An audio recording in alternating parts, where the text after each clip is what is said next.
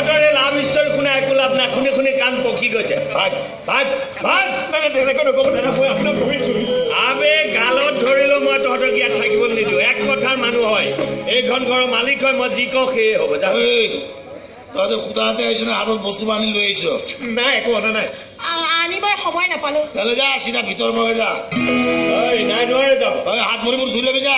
নাই পানী নাই পানী নাই। ঐ ই তহঁতক ভাত বনাই খুৱাব যা যা যা। বে? এইখন ঘৰৰ মালিক হয় মই।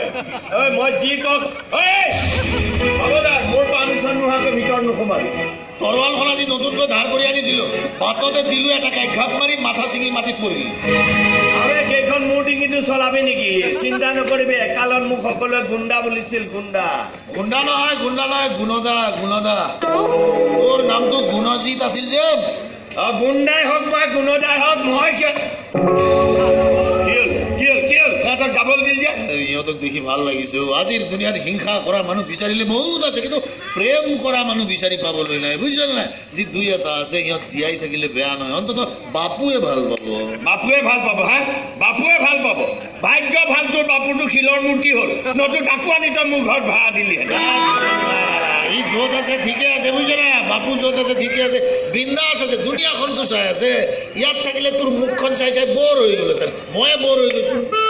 ওলাই নাযাওঁ কিয় ওলাই যোৱাৰ কথা ভবাই নাই বৰঞ্চ ইহঁতৰ দৰে প্ৰেমিক প্ৰেমিকা কিছুমান আনি ইয়াত ৰখাৰ কথাহে ভাবি। তাৰমানে তই মোৰ ঘৰতো প্ৰেমিক প্ৰেমিকাৰ হোষ্টেল খুলিব খুজিছা। ঐ খবৰদাৰ বুলি ধেৎ, বাৰে বাৰে এখন কেলে উলিয়াই থাক তই? যা যা ইহঁতৰ ভোক লাগিব পাই ৰন্ধা বঢ়া ব্যৱস্থা কৰকে যা। তোৰকেইটা দি দিওঁ। দালে নতুনকে বনা ভাত বনাবি? দাইল বনাবি আলু ভাজিবি ডিম বইল ডিম বইল কৰিবি যা হ'ব যা। সিহঁতৰ কাৰণে এইবোৰ কিয় কৰিম মই? কোন হয় মোৰ কিয়? আৰে অতিথি হয় অতিথি শুশ্ৰূষা কৰিলে পুণ্য। কৰিছে। ফেন থকা ৰুমটো এতিয়া তাৰ। পানী চাহ ভাত যি লাগে চব মই বনাই বনাই খুৱাব লাগে। মোৰ ঘৰতে মোকে চাকৰ বনাই সিয়ে মালিক হৈ বহি আছে। খেদিব খুজিলেও তৰোৱালখন উলিয়াই লৈ এই পাত। ভদ্ৰ বছৰত ক'লো ওলোটাই সি মোকে কয়? তই যাওঁ যদি যা মই কিয় যাম বে আবে এইটো মোৰ আইবুৰ পৰা সাজি দিয়া ঘৰ হয়। মই কিয় যাম বে?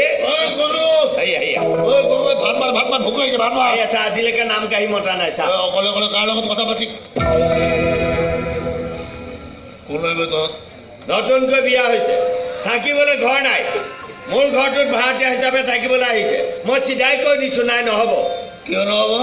আৰে কিয় নহ'ব মানে এইটো মোৰ ঘৰ। মই কাৰোবাক ইয়াত থাকিবলৈ দিবও পাৰোঁ নিদিবও পাৰোঁ। চাওক দাদা।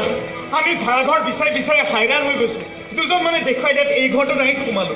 মা দেউতাই মোক বেলেগৰ লগত বিয়া দিব খুজিছিল। সেইকাৰণে পলাই আহিলো ইয়াৰ লগত।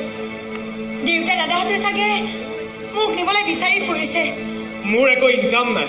তাৰ পাছতো এইক পলোৱা অনাৰ সাহস কৰিছো। আমি ইটোৱে সিটোক এৰি থাকিব নোৱাৰো, দাদা। লাগিলে কৰ তোৰ তই স্বাধীন কৰা ভাৰতবৰ্ষখনক লুটি পুটি খোৱাসকলৰ লম্বা তালিকাত এখেতৰ নামটো জল জল, পট পট হৈ জিলিকি আছে। আচ্ছা কোৱাচোন কোৱা কোৱা কোৱা কোৱা। যোৱাবাৰ তই কি- কিমান ভোটত জিকিছিলি ইলেকশ্যনত?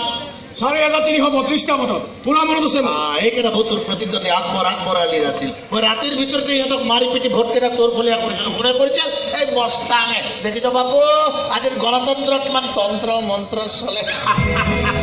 কথাটো বৰ দৰকাৰী আছিল মস্তৰ কৈ যা কাণ থিয় কৰি আছো কৈ যা। আকবৰ অলিয়ে এটা নতুন ইছ্যু খাৰা কৰাইছে লাভ জেহাদ। এইটো আকৌ কি বস্তু হিন্দু ল'ৰাতে এজনী মুছলিম ছোৱালীক পলুৱাই লৈ গৈছে তাকে ইচ্ছু কৰি আগবঢ়াই এই বুলি প্ৰচাৰ কৰি ফুৰিছে যে মুছলিম ছোৱালীবোৰক হিন্দু বনাবলৈ এইবোৰ আমাৰ ছাৰৰ দৰে হিন্দু নেতাবোৰে গভীৰ চক্ৰান্ত কৰিছে কি ৰাজনৈতিক ব্যাখ্যা ইমানৰ পাছত মইতো আৰু মনে মনে বহি থাকিব নোৱাৰো প্ৰশ্নই নুঠে মই ওলোটা যুক্তি দেখুৱাই কৈছো যে সেইবোৰ ষড়যন্ত্ৰ আকবৰ আলীৰ দৰে নেতাবোৰৰে সিহঁতেহে আমাৰ